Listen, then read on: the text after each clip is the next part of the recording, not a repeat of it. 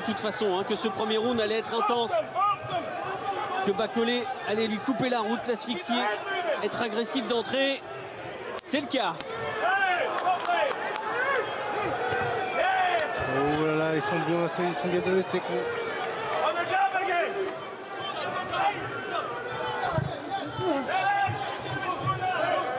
Ah, Sébastien Fabrice, on peut déjà le dire, il n'avait jamais autant d'affilée dans sa carrière pro, Yoka.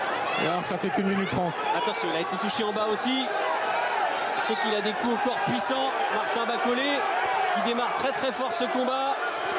Allez, l'intelligence du ring de Tony Yoka, comme il l'a prouvé à maintes reprises, tourné. Oh les buts puissants, ça fait mal. Oui, Bercy, Bercy, qui a compris que Tony Yoka avait besoin de son public.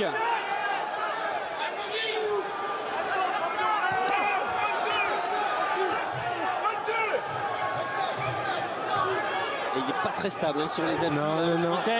Il pieds pas stable du droit tout. encore. Attention, c'est un premier round qui est très difficile pour Tony Yoka.